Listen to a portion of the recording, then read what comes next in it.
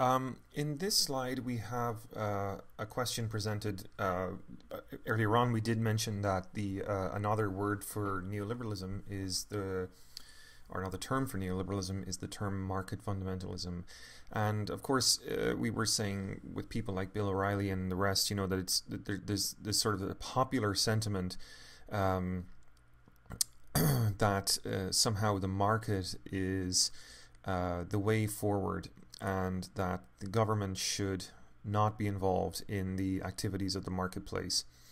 And I think in this slide, really what we're trying to do is set out the argument that if if people do believe that, you know, do they fully understand the stakes of um, of that claim?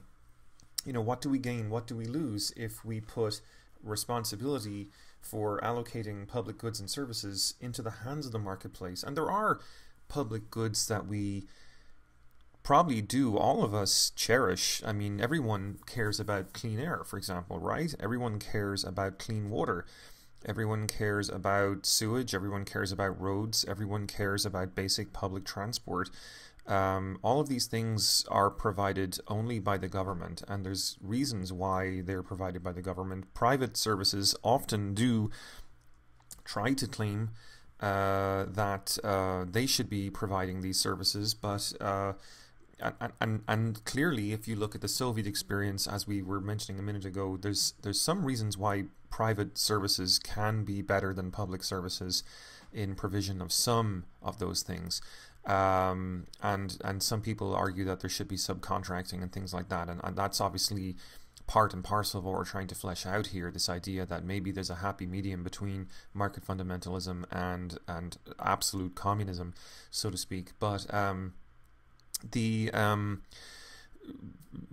thing we need to understand, however, is that um, where the Soviet model uh, put an absolute priority on um, equality and often sacrificed choice. Um, capital, in a way, also sacrifices choice. And that's not something we like to think about, or tend to think about, rather, because we think that the market is, is the thing that excels at providing choice. And indeed, that's true. But but only things that can uh, be made profitable. So, for example, um, what happens if capital, uh, as in private forces, uh, take over, for example, water? Well, pretty much in all of the experiences we've seen on a global basis, the prices go up, right? So, if you're someone who cares about the question of justice for a society, uh, where poor people have access to clean water. And let's face it, it's probably the number one thing that you can do to improve the health and welfare of a society is give everyone clean water. Um, if you make that a for profit enterprise, as in you have to run it at a profit, you're basically making that harder to implement. The one thing about a private uh, firm running water is it has to make a profit. A public service doesn't have to make a profit, it just has to run at cost. And so um, water can then be provided at that cost, or it can even be subsidized if we care to do that. It could even be free if we care to pay for it out of taxes. So um, there's there's ways to make sure that poor people have access to some of these public services. Um, and of course, because clean water doesn't just benefit the poor, it benefits everyone, then it's just something we all benefit from together. I know there's a logic to that because if we all get together and act as a buyer, a collective buyer, if you will, you know what happens? Well, things get cheaper. If you go into the marketplace as one person looking to buy a wrench, um, you know, the seller gets to set his price and he gets to make a profit off you. But if you go in there as a hundred thousand people, each looking to buy a spanner or send one person in on behalf of you. Obviously, we're not all going to go into the marketplace together. That would be a bit unrealistic. But we send a representative in to represent our collective interests and say, we are 100,000 people. We'd like to buy, buy all buy spanners, but we'd like to do it for cheap, right? And then the supplier says, hmm, well, I'd love to sell 100,000 spanners. Um, perhaps I could afford to compromise a little bit on my profit. and you know what happens? The price of the spanners come down. He get, still gets to make a profit. Um, he would not have otherwise sold 100,000 spanners. So there's a major incentive for him because of the security that he's getting from shifting that much stock.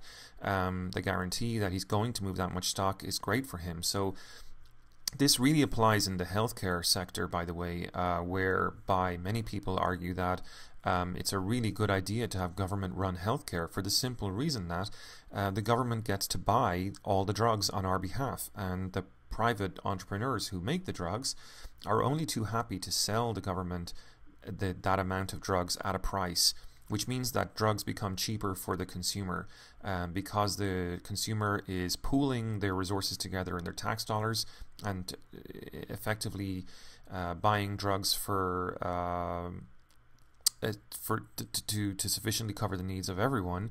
Um, the the, the, the, the drugs can be bought at a price that's closer to cost, and the requirement uh, for profit of the provider is is less in exchange for the guarantee of having that many consumers. So it's it's just something that makes sense about the logic of public goods. Um, some people would say it's more moral. Other people would say it's also more efficient uh, in the long run. Uh, it's just a better way to do things because we, as the consumers, save in the long run. Um, incidentally, I wasn't going to go into this, but if you're interested, um, uh, it's often said that Americans pay a lot more for their healthcare than Europeans, and actually that's true over the course of your lifetime.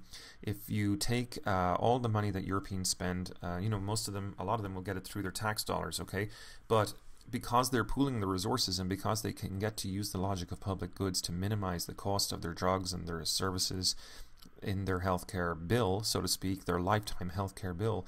And Americans don't get to do that because there's a for profit healthcare sector to be taken care of, there's a for profit insurance sector to be paid.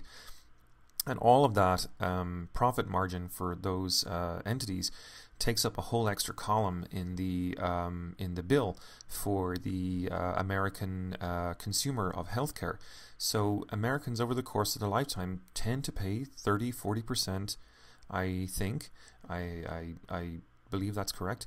Um, more over the course of their lifetime, they pay 34% more um, than the average European. Now, many people will say, ah, but you know, there's the in- profit incentive, and American medical services are way more advanced. It's true that you can get some things in America, um, sort of advanced experimental research, that kind of thing, that are perhaps less available in certain parts of Europe. But on the other hand, um, the vast majority of people will not have need for experimental um, interventions and surgeries. The vast amount of people just want basic healthcare. And so the real question there is do those people get access to basic health care or not? I don't know if you guys remember, but there was a wonderful episode of the Oprah Winfrey Show there about mm, back in 2006, 2007, where they went into um, a county there uh, in southwest Virginia the poorest county on the eastern seaboard of the United States of America, and they were sending in third world style medical relief missions to provide cataract surgeries for people and other basic uh, medical treatments. And it was all uh, basically run by um, uh, nonprofits, and um, it was being done much the same way that you would send a convoy of medical relief into a third world country. And you have to ask yourself, in America, where there's you know supposed to be a land of opportunity, how on earth is it coming to pass that uh, some parts of the country uh, people are so poor that they cannot afford basic health care? Um, so there is a major argument there about the difficulty of uh, providing healthcare for everyone through a private system. Now, that's uh, of course a tricky argument to make in America because Americans generally and, and in American culture, um, most people believe in the myth of Horatio Alger, the Horatio Alger style myth. And of course, we see the inset here from farm boy to senator. And that's the idea that in America, Horatio Alger was a novelist and he wrote these novels that described how a little ordinary boy could pull himself up by his bootstraps and go on to become somebody great and a real success in life. And that's a deep, uh, a deeply embedded myth eh, of American uh, political life and public life and economic life.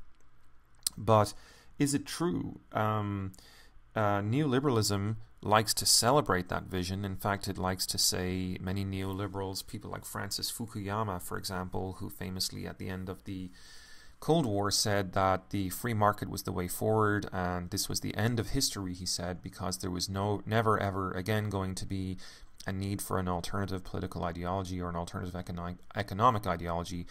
Uh, democratic capitalism is the way forward. And the question is, of course, um, you know, doesn't that obscure to a certain extent the problems that the Horatio Alger myth kind of covers up? If all Americans are going around thinking that their hardship is their own fault, or that anyone who's experiencing hardship is only experiencing hardship because they're lazy, then doesn't that really cover up a lot of the sort of social dynamics that have led to that hardship in the first place? I'm not saying there's no such thing as a lazy person, but if we look at the figures earlier on, we know already from our figures in this very hour that um, something on the order of 90% of Americans, that's 90% of Americans, are getting by on just $25,000, $26,000 a year. Um, that is kind of crazy, you know, that is not a lot of money. And so where does this myth of the prosperous American middle class really come from if if if people don't really live that way, if that's not the realistic condition that most Americans live in, then clearly the Horatio Alger myth is failing. I mean, unless you're going to make the preposterous argument that 90% of Americans are lazy, which is kind of what um, our friend in the last election was was arguing. Uh, Mitt Romney got in terrible trouble for suggesting that. Um, 50% of Americans would vote for Obama because Obama would give them free stuff, right? And of course, it's just a pathetic argument, really. In the end of the day, um, to suggest that 50% of Americans are just lazy is demeaning and, and frankly not true. It's just not true. Uh, there's no evidence to suggest that 50% of Americans are lazy a lot of Americans feel uh, economically marginalized because there's a financial crisis going on at the moment. And that makes things very, very difficult. But, you know, the reality versus the Horatio Alger myth, you know, the reality is Americans often do try very, very hard and they don't succeed because the myth is just that. It's just a myth. It's not possible for every farm boy to go on to become a senator so long as he works hard. There is a system, an economic system out there and as we learned in the build up to the last financial crisis, and as we look in more detail in the next uh, week, um, you know, a lot of the banks were practicing what's called predatory lending. They were victimizing, they were they were targeting um, suboptimal candidates for loans and telling them that they should borrow money uh, in order to buy a house or to put an extension on their house. And of course, the people couldn't afford it, but the banks were telling them that they couldn't afford not to because why wouldn't you get a mortgage this year for a house worth $20,000 when the inflation rate on the house is, is, because of the property bubble the house will be worth $30,000 next year? Wouldn't you be a fool to take out a mortgage not to take out a mortgage at 20,000 when you know you can pay it back and make a profit on the rising on the back of the property bubble next year. So there was a lot of predatory lending going on and and that is just one indicator of course of the fact that the market system can be very very cynical and it can be kind of um, vulture like um, preying on people who don't know any better. And you know, in a in a in a world, a neoliberal world where public education is not being as well funded as it might be, what basis do we have to say to people that they should have known better? Um, you know, it's not their fault. They don't have the educations anymore that they used to have. And so, because neoliberalism is eviscerating all the public services that Americans 20, 30 years ago used to enjoy when this country used to be very prosperous, it makes sense to think that um, that that people might make some bad decisions, and that it might be very easy for banks to to to try to um, engage in predatory behavior um, on these people's uh, financial futures. Um, this is a quote that I like from Spike Peterson. I just thought I'd read this out for you guys. Um, um, she says the Horatio Alger myth and the logic of neoliberalism are kind of like a common sense. And we've talked about common sense before. We talked about Gramsci's definition of common sense before in this class. And so here, uh, you know, in keeping with the theme that we have in this course, we're looking at images of thought. We're looking at ways of making sense of the world. Uh, we're looking at, at uh, subconscious ideologies. And we're, I think, so here suggesting that neoliberalism has become something like a subconscious ideology for people. You know, if you watch uh, TV shows like Shark Tank, um, and all the rest, you see that people are get very, very uh, particular about individual success and individual responsibility to change your life in order to turn around your economic hardship, to make something of yourself. Again, it's all just sort of coming back to the Horatio Alger myth. If you can make sacrifice, if you can make um, if you can tighten your belt, you'll get through and you'll come out the other side. And of course, the question is at what point in time do people stop saying, hey, wait a minute, maybe this isn't my fault? Maybe this isn't down to me needing to tighten my bootstraps? Why is it, for example, in the context of the current financial crisis, that my my my uh, belt is the is the belt that needs to be tightened, and uh, Wall Street is getting a bailout for the risks that they're taking on the financial markets? That doesn't seem fair. Why is it socialism for the rich and not socialism for the rest? Um, so you have this um, question then here implicit in the in the in the quotation from Spike Peterson um, when she asks, "What are the consequences of accepting this common sense uh, and the particular game of capitalism that it perpetuates? In the short term, marginalized populations face daunting challenges," she says how to secure immediate resources for family survival and well being, and how to maintain self esteem and optimism under stressful conditions and unpromising futures. In the long term, growing inequalities drain people's sense of inclusion in a global community, i.e., it doesn't feel very fair. And that's what we've been talking about, especially, I think, since the financial crisis. This was all written before the financial crisis. Increased feelings of frustration, uh, despair, and resentment, certainly, perhaps even leading to criminality, you know uh, reduce the likelihood of people working together for common goals, and undermine democratic principles which require inclusiveness. Um, so, you know, th- th- there's a, a knock on series of effects in the short and the long term, which um, uh, do a lot of damage to families. Um, it makes families nervous, it makes children feel stressed.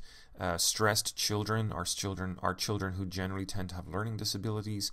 And so you're going to perpetuate the problem of the lower classes through the fact that these children are not going to have very high self esteem. And in the longer term, of course, uh, there's going to be resentment about one's position in the community. One's going to engage perhaps in scapegoating or conspiracy theory, theorizing, even maybe to find out who is to blame. This is exactly what John Maynard Keynes said led to World War II because of the fact that um, Germans felt so um, economically marginalized by the uh, war reparations that they were foisted on them, that they had foisted on them after World War One. So, um, you know, there's a lot to, to, to sort of think about here, and and even if you're someone who still, after all of this argument, still believes in the free market as the only solution, and you take that that sort of extreme free market position, um, even if you want to continue to believe in that, that's fine, and you're very welcome to. And there's a lot to be said that is uh, good about the free market, but um, I think in an age where the free market is not rewarding the majority of people and is making uh, leading to situations where certain very wealthy people like Mitt Romney, who's just unfathomably wealthy, is turning around and saying in the same breath, having been a vulture capitalist his whole life, um, that is, when I say vulture capitalist, I mean he's buying and selling corporations um, to to to sell off their hardware and their plant and their machinery to to make a profit. Right? He's buying up bankrupt companies to sell off their component stock. Um, that's what a vulture capitalist does. It's a very specific term. It refers to a very specific type of practice but he's going to turn around having having sort of uh, been involved in the sort of dismantling of entire communities who'd grown up around uh, industries um, he's going to turn around and tell people who are unemployed that they're lazy. It's it's just too much, you know. And and so you can believe in the free market if you wish, but I think the thing you need to recognize is that you need to have an answer for people. Then, if they come to your doorstep saying they're frustrated, and they want justice, they want equality, they want their rights protected, um, because as sure as the sun rises, eventually, as Jim Carville says, he was Clinton's former campaign supervisor. You know, if you hit people in their pocketbook, he came up with the phrase, um, you know, it's the economy, stupid, right? so I think at a certain point in time, people do think about their pocketbook. They do think about the fact that the jobs aren't there, and and eventually, um, one way or another, um, they start to engage in um, blaming someone, whether it's immigrants or capitalists. They shift to the right or they shift to the left, but either way, um, there's hell to pay because extreme political elements get empowered by that, and there's a lot of social disruption. So if if um, you you you really do have a very instinctive uh, sort of feeling that socialism is not a viable option for America, that's fine. But what I'm trying to say is that you need to be able to understand and think about a way that the free market can be made to work for everyone and not just some of the people. Because right now, if you look at the numbers, the top 10% are benefiting more than the rest, and the top 1% even are benefiting just incredibly much more than everyone else. And that's hard for people to take, I think, if they're on the economic margins earning $24,000, $25,000 a year. Um, life is going to be very difficult earning that kind of money, to be sure. So let's move on to our last slide for this week, and that is uh, a slide that addresses the question of Occupy Wall Street. Um, this is not in the chapter, but I thought I'd throw it in because it seems to sort of speak to some of the issues that were raised. As I said, Spike Peterson's chapter was written uh, before uh, the uh, Occupy Wall Street uh, issue became uh, apparent, before Occupy Wall Street became a, a, a sort of a, um, a phenomena. Um, and it's really just a way of wrapping up the lecture today to say that all this flexibilization, all this precar- precarious contracts, um, all this sort of uh, way in which lots of people are being driven into the black market, so to speak, the informal economy, it all seems to call the legitimacy of neoliberalism into question on it, on their own. But then you add on top of that the financial crisis, and you see that the legitimacy of financial neoliberalism is um, the, the legitimacy legitimacy of financial neoliberalism is genuinely uh, questioned today, and this is a phenomenon in America that just was really um, you know has been unheard of since the Cold War because you know America typically typically has a very strong instinctive negative feeling about socialism about communism, but here come uh, a group effectively of anarchists um, are people inspired by anarchist ideology or anarchist, if not anarchist ideology, by the anarchist way of organizing and doing things? And there's a difference because a lot of the people who were involved in Occupy were not capital A anarchists. They were not self identifying anarchists, but they borrowed a lot of the anarchist uh, way of organizing in order to to bring their message onto the streets. And they used this concept, as we've been sort of trying to set out here, the concept of the 99%.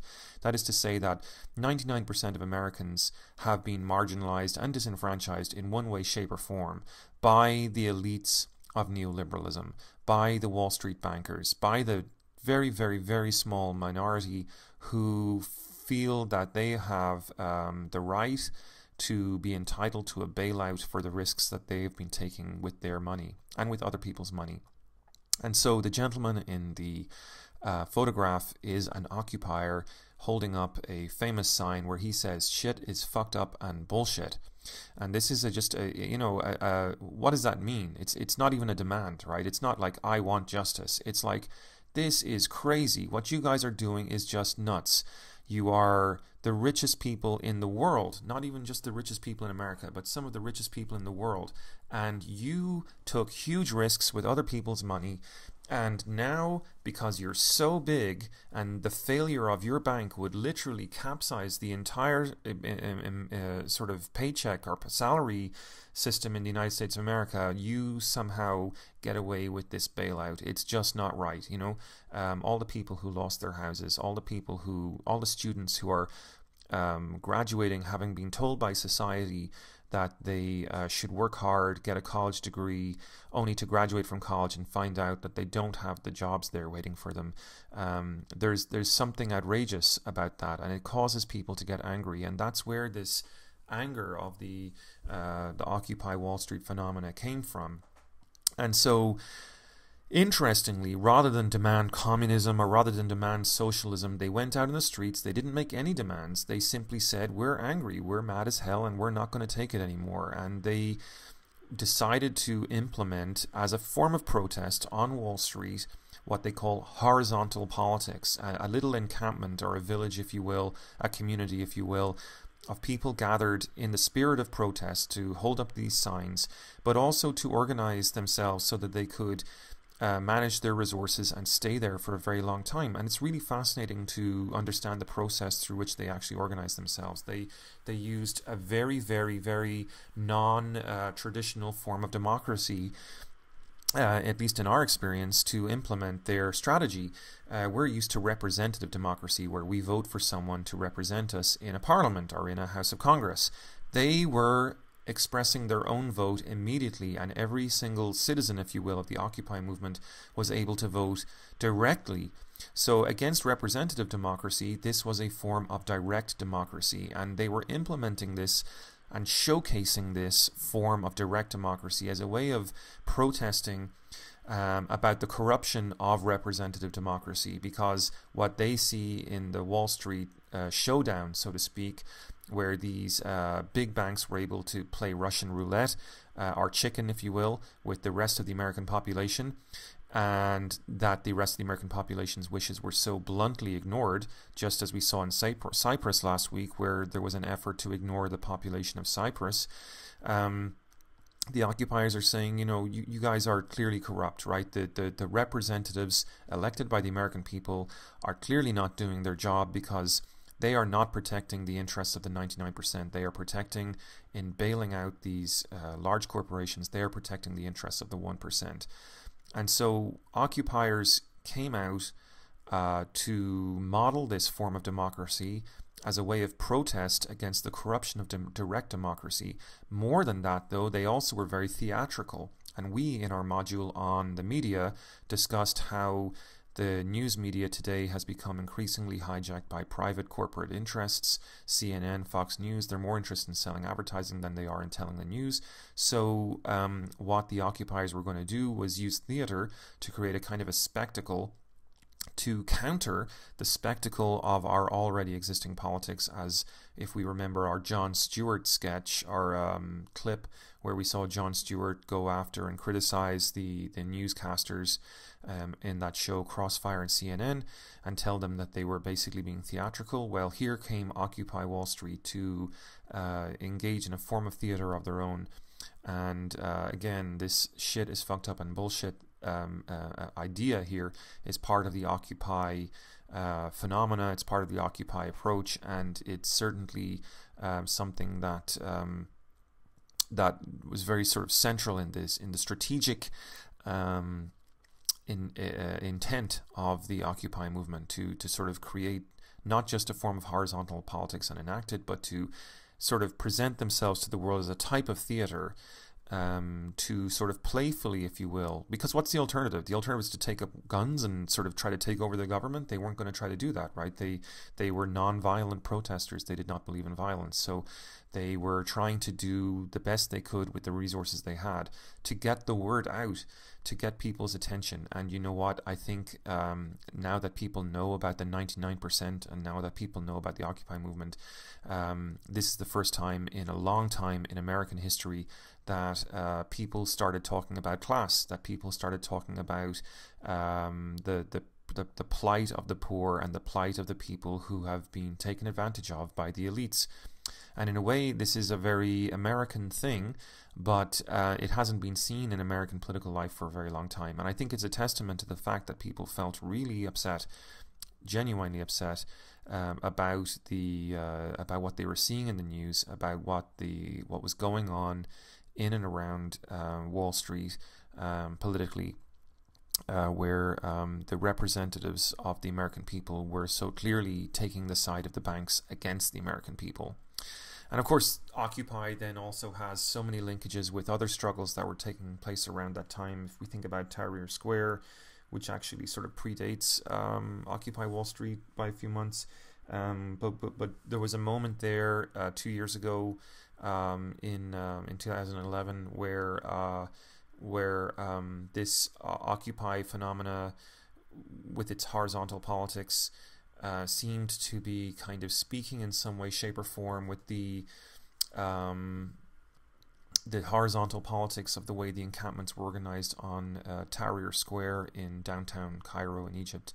Uh, similarly, we saw uh, encampments, horizontally organized encampments in Tunisia, in Spain, in Ireland, in Britain, uh, Germany, uh, Greece, in Syntagma Square in Greece, in Athens rather. Um, you know, so clearly there are these linkages, and I think it's it, it certainly seemed to encapsulate a, a moment where um, much of this sort of neoliberalism that we've been talking about suddenly for the first time in, in a long, long time uh, came up to be challenged um, in the popular discourse. And so that's the end of our uh, class for this week. Um, next week we'll come back and we'll have more lecturing um, on. Um, we'll have another YouTube lecture, this time focusing on the readings from Cammack. We've already talked a little bit about Cammack, so again, I'll be mixing and matching a little bit next week. But um, I hope you enjoyed this lecture. I certainly enjoyed preparing it and and and and speaking to you today. I'll uh, look forward to seeing you again next week. Take care.